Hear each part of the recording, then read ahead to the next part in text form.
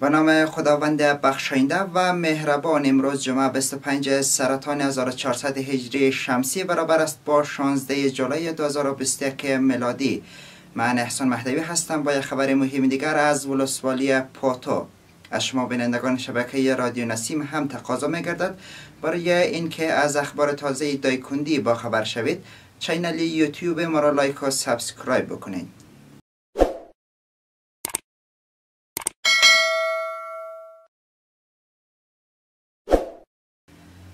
پس از یک هفته توقف جنگ حمله مجدد گروه طالبان بالای قریه قخور ولسوالی پاتوی دایکندی محمد رضا اسلمی رئیس امنیت ملی ولایت دایکندی می‌گوید افراد گروه طالبان به رهبری ملا امین الله والی نامنهاد این گروه به سرگروپی میوند ملا جلیل و عتیق الله. شب گذشته بالای پاسگاه های باغ جنت و بند بلاق مربوط خزش های مردمی در منطقه قخور ولسوالی پاتا حمله نمودند که با مقاومت شدید نیروهای امنیتی روبرو شدند.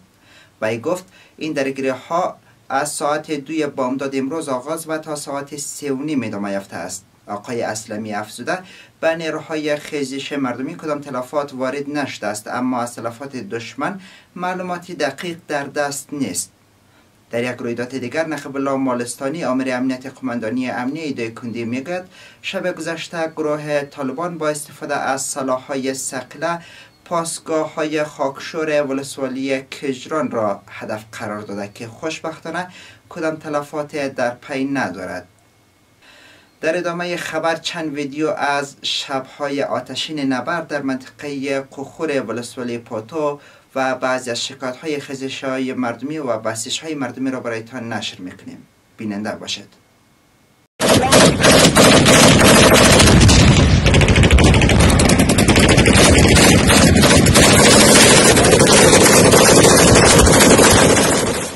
که جنگ در ولسوالی پاتوک شروع شده. اما اولش تا آخرش در صحنه بودیم. در هر جنگ در عمله چی در پاتو چی در دگلیج که کو معلوم میشه کوی دگلیجه در روز حمله که بود حمله که طالبا برای ما چند تیربار بود و چند شی بود که زدیم اونا شکست دادیم. اما می طرف طرف دگلیج طرف نوبلا تا همین روز ما مل از خود ما صحنه جنگی می از کوتل دگلیج دیگه مردم بسیار آمادگی زیاد دارن به شرطی که دولت همکاری کنه.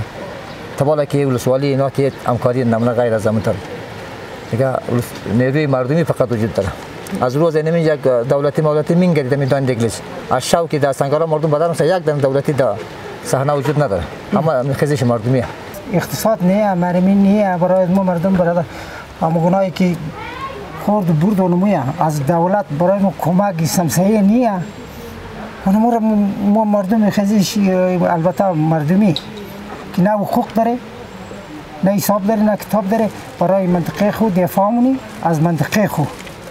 ما هیچ بنوان چیز دیگر نداریم که ما یا برای ما کمک برسه یا این اگر دولت برای از ما رسیدگی کدم خوب نکد ما از منطقه فقط دفاع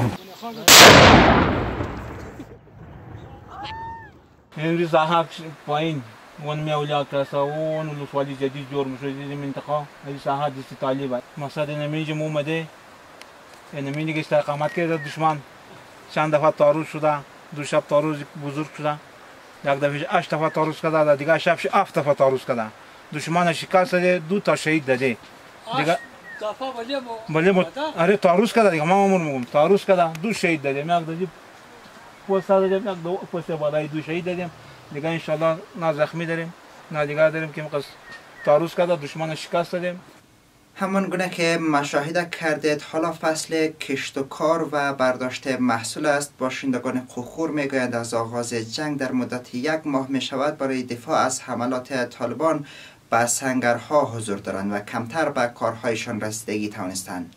این باشندگان هشدار می‌دهند که اگر عملیات تصفیوی در ولسوالی پاتو آغاز نگردد مردم با بحران اقتصادی روبرو خواهند شد. در پایان یک بار دیگر ممنون از توجهتان.